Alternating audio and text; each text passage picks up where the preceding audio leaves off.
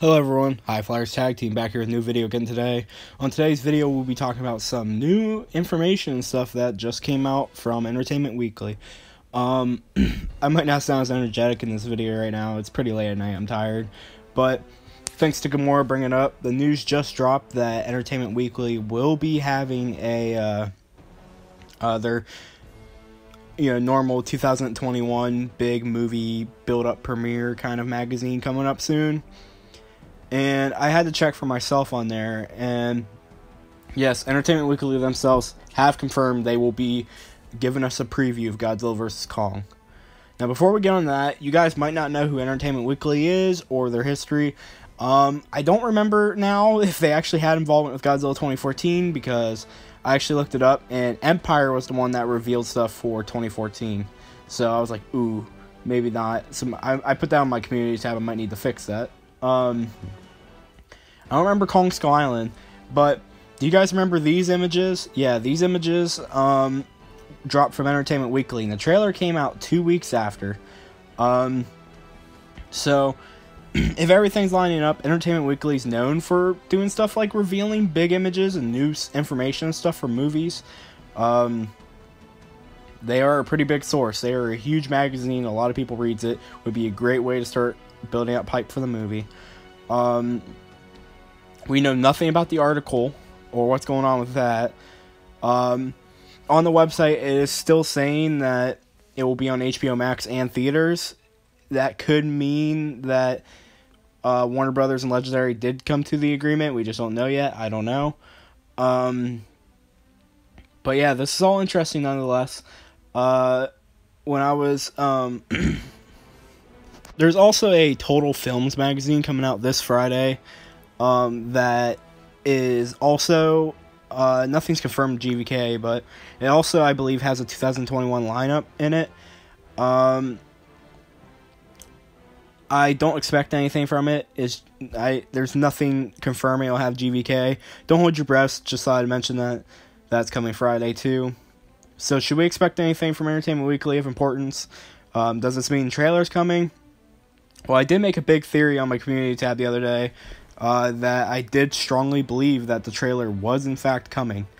Um, February was my guess, um, and I'm definitely sticking by that more now with this bit of evidence. Um, it seems more and more likely we might actually get something for the Super Bowl this year.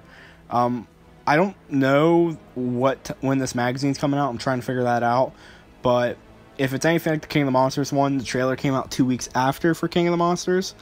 So if that's the same thing here, then yeah, it's the same case. Um, so yeah, I'm currently waiting. I have no idea what's going to be inside this magazine. Nothing's confirmed. They give a little brief stuff about the movie on the website. Nothing of too much importance though. You can go on and check for yourself. Um, they're also going to be revealing Venom 2 stuff, which I'm excited for. Uh, should we get hyped? Should we expect anything? Well, with all the recent news, uh, Figure's going to be coming out um, late February, and actually a bunch of websites having them marked as pre-order for February 5th releasing. Plus, all the Bandai and all sort books and stuff are getting ready to start coming out soon. Um, and there's no sign of delay at the moment. They keep constantly saying something new about the date being the same.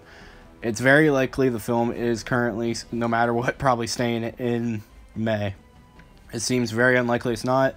Um, again, what can I expect from this magazine? Should we expect anything? Again, I mean, they straight up confirmed they are going to give a preview Godzilla vs. Kong. Now, I don't know if it will if it will show any pictures.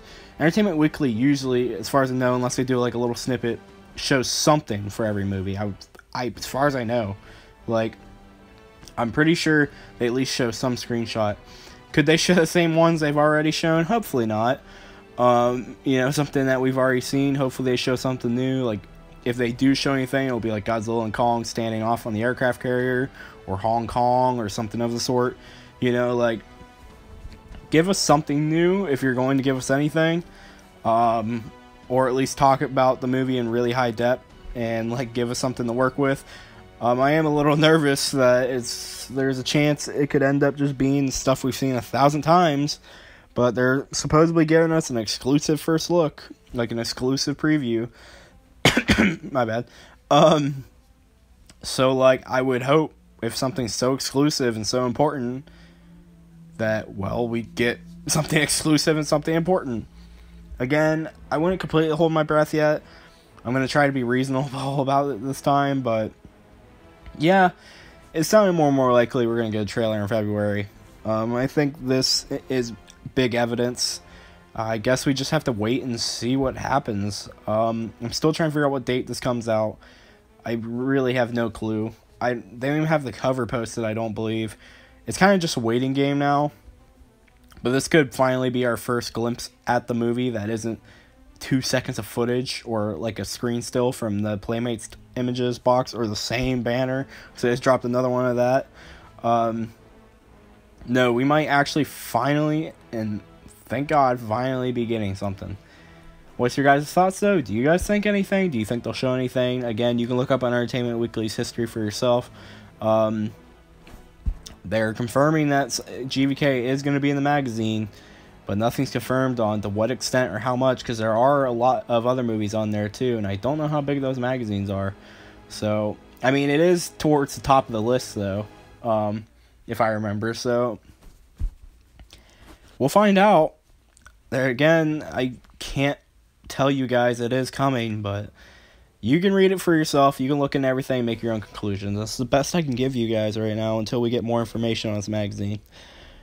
But until then, hope you guys all enjoyed. Stay safe. Um, let me know your thoughts down in the comments below. As always, peace out and bye bye. You know, I was about to let you guys go, but I hope you're still here because I just got more information. So basically, what they're going to be doing, according to the website, is over the next two weeks, daily, they'll be revealing uh, stuff for more than two dozen films a day. So out of the 89 films on the list, daily they'll be revealing more than uh, two dozen stuff for the next two weeks. So that mean I mean that would mean in four days they would have revealed everything for their entire slate, and so that means there will be probably multiple days with GVK stuff. As shocking as that sounds, um, depending on how they do it. And they said some of the stuff they'll be revealing is uh, interviews with the filmmakers and like the cast, photos from the film, and trailers from the film. Apparently, they'll be dropping some of the first trailers for stuff. It sounds like. Again, try to keep your hype bare minimum. I'm gonna try my best too, but it's it's starting to seem a little bit if they're actually gonna be dropping trailers and to talk about two dozen movies a day. I have no idea where to even look to like figure out where the stuff's dropping, but I'm sure when something drops, someone like Gamora or something's gonna post it. Hope you guys all had a good night. Thank you all for watching. As always, peace out and bye bye.